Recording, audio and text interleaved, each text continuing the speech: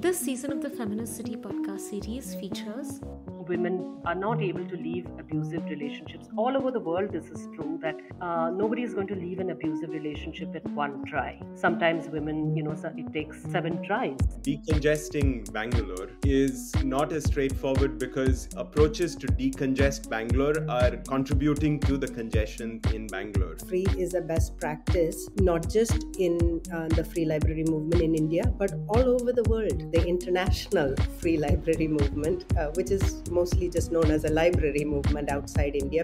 And we began to realize that physical accessibility is only one aspect of accessibility.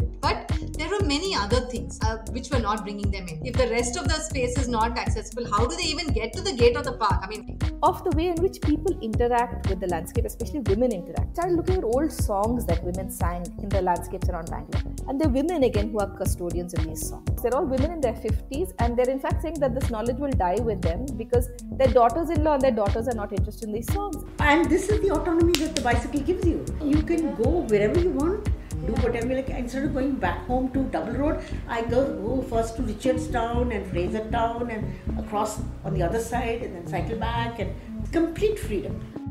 I'm sneha visakha and i host the feminist city podcast this is offered by Vidhi Center for Legal Policy, and you can listen to upcoming episodes in this season on our website or on our channel on any major podcast streaming platform, including SoundCloud, Spotify, Apple or Google Podcasts, as well as YouTube.